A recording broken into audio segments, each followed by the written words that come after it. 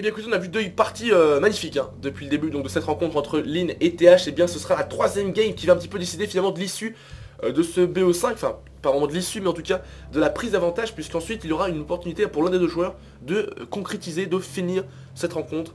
Avec donc notre ami Lin qui a été spawné en haut à droite donc de Amazonia alors que bleu. Et donc il va être opposé à TH une nouvelle fois hein, en bas à gauche en humain violet. Amazonia une nouvelle map de deux joueurs. Hein. donc voilà, vraiment on a eu pour l'instant que des maps de deux joueurs. Donc il n'y a pas de chance hein, sur le scouting en début de game, donc forcément les adversaires ne se scoutent pas euh, très très rapidement. Et donc TH qui nous fait pour l'instant euh, du fast altar, hein, avec donc l'altar boosté au stéroïde avec le double paysan.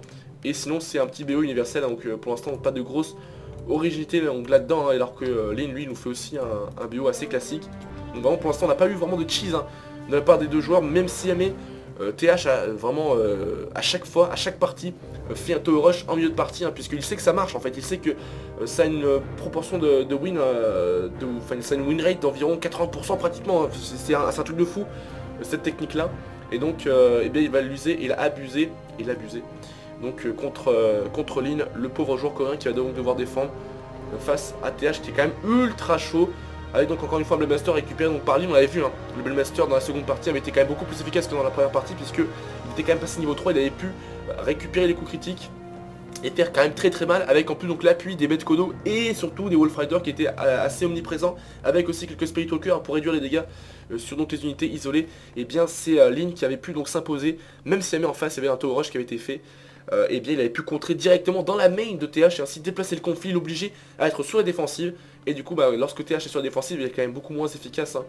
quand lorsqu'il est chez vous avec des tours de garde et avec euh, un max de sorcières et de prêtres avec donc euh, la récupération d'un arc mage une nouvelle fois hein, euh, par, par TH les trois, enfin les trois, les trois parties, et il leur a pris un arc mage qui est vraiment le héros standard du match-up humain contre tout le monde.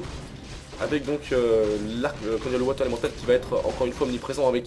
Vraiment on l'avait vu hein, dans la seconde game, l'arc mage avait été pas non plus trop trop agressif en début de game. Mais néanmoins il y avait quand même plus de grunts sur la donc beaucoup plus de présence de la part donc, de, de Lynn. Et forcément, bah, c'est TH qui s'est un petit peu senti moins, peut-être moins en confiance, moins à l'aise dans son caping et du coup il n'a pas vraiment pu récupérer l'avantage en termes d'XP comme il avait pu le faire hein, dans la première partie. Donc sur Echo Isles avec donc le Blaster qui va un petit peu chase hein, cette armée, euh, plutôt même la scouter, voir un petit peu ce qui se passe, voir où il va et là une nouvelle fois ça va engager donc sur le Water Immortal pour éventuellement récupérer quelques points d'XP gratuitement sur ce BM qui doit être euh, le plus vite possible récupéré niveau 2, niveau 3, hein, puisque c'est vraiment ça qui fait la différence dans un match-up.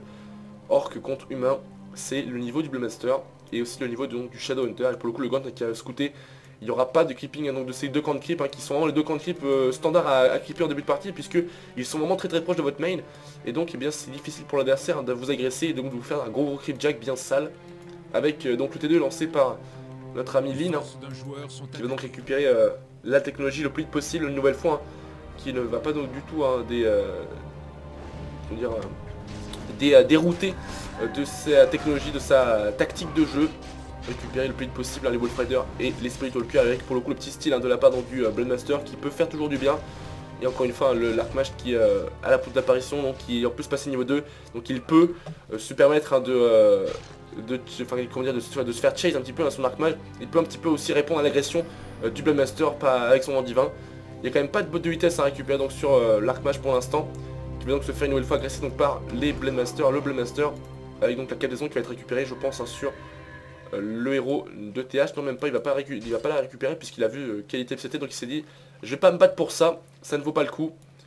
Alors qu'on passe au Cité 2, donc dans la main de TH, hein, récupérer la technologie qui va être très très utile hein, face donc à une armée orc survoltée, survitaminée au corps à corps avec donc le champ voodoo, qui a été une nouvelle fois lancé.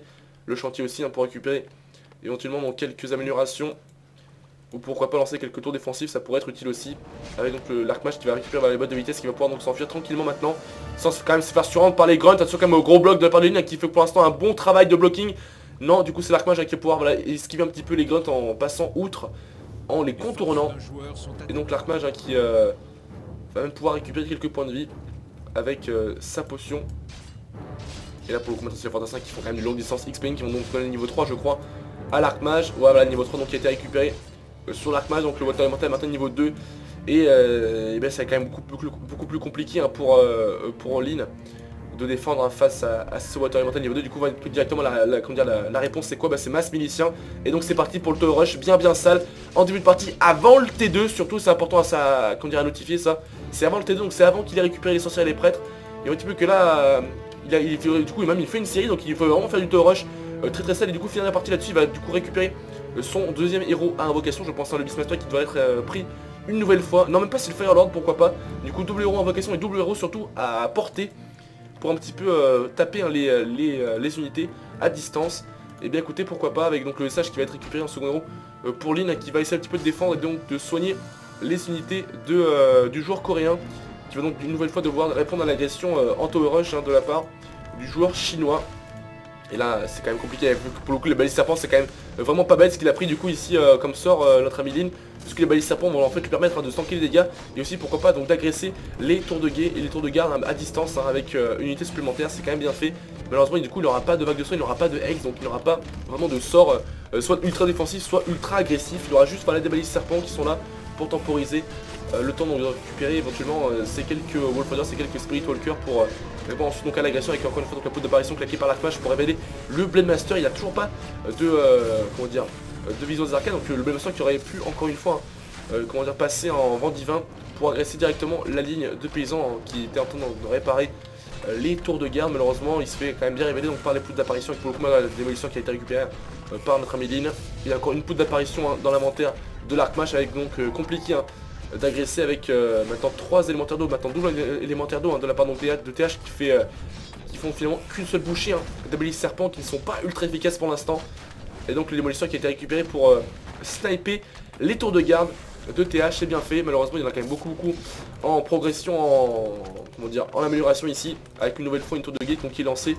Et là, c'est vraiment, euh, comment Lynn qui est vraiment sous pression. Et je ne suis pas sûr qu'il ait les arguments hein, pour euh, pouvoir reboot hein, ce rush hein, de, de, TH. Qui va donc maintenant être avec trois tours de garde très très bien placés dans la main de Lynn.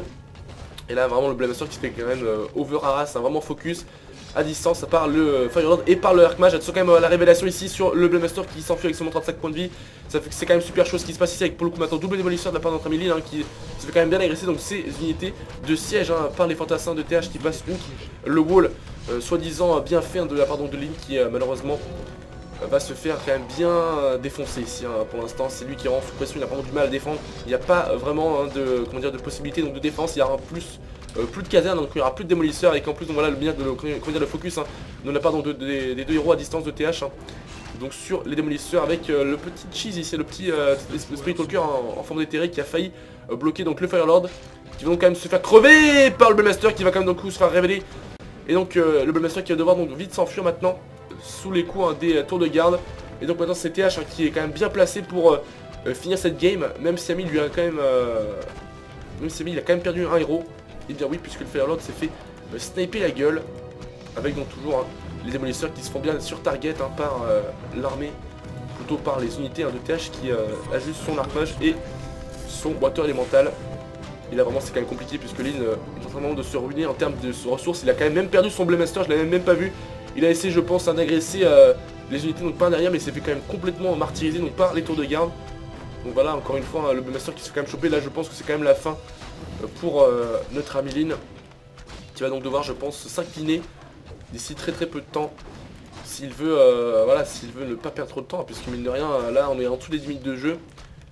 Et Lynn qui va essayer un petit peu de défendre en Miakman, puisqu'il faut quand même offrir du beau jeu, mais je crois malheureusement que ses efforts sont vains avec donc toujours les bolisseurs qui essaient un petit peu de gratter euh, la vie hein, sur les tours de garde hein, qui sont euh, qui lorsqu'elles sont en amélioration eh sont une unité hein, enfin un bâtiment plutôt sans armure et donc qui prennent des dégâts supplémentaires de la part dans des attaques euh, de siège et des attaques perçantes aussi bien sûr avec voilà du coup le qui ne pourra même plus être récupéré par ligne donc là vraiment il, va juste devoir défendre avec son SH et ses petites balises serpents contre des tours de garde over boostés de la part de TH qui en plus avance tranquillement vers les bâtiments principaux euh, de Lynn qui euh, malheureusement euh, là se précipite vraiment dans la défaite hein, malgré le fait qu'il y a quand même beaucoup, beaucoup de balises serpents qui vont empêcher l'avancée hein, des, des, tours de garde hein, un peu plus un peu plus vers, vers l'avant.